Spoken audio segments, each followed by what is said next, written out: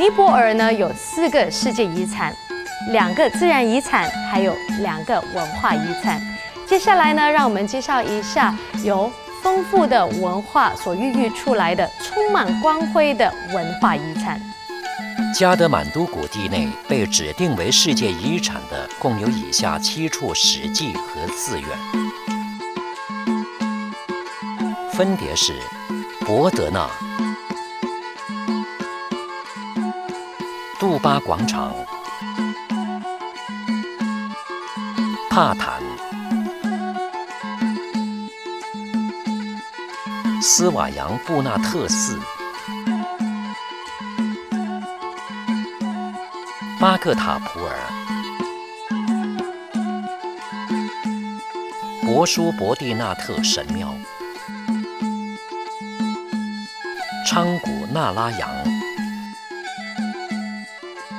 随着这一地区的不断都市化，2003年，这些遗产曾一度被评定为濒临危机的世界遗产，直到2007年才取消了这一说法。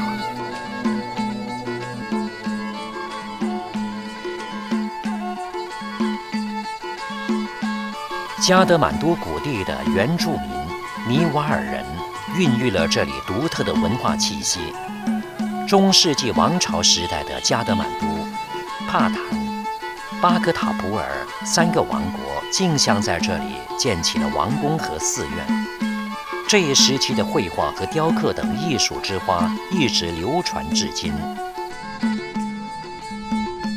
杜巴在尼泊尔语中的意思是王宫，杜巴广场意为王宫广场。马拉王朝在谷地内建起了三座独立王国的时期。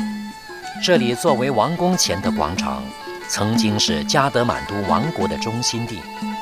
在帕坦以及巴克塔普尔也拥有同样的杜巴广场，在这些广场上也同样可以看到装饰精美的宫殿以及各种寺院。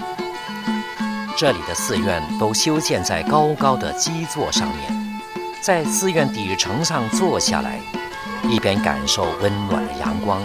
一边观察来往的人流，任时间从自己的身边悄悄流走。神庙位于广场的中央，高出其他建筑物，由17世纪末马拉王朝巴格塔普尔的王太后下令建造。在九层的基座上，而耸立着一座三重塔，从这里可以一览广场的景色。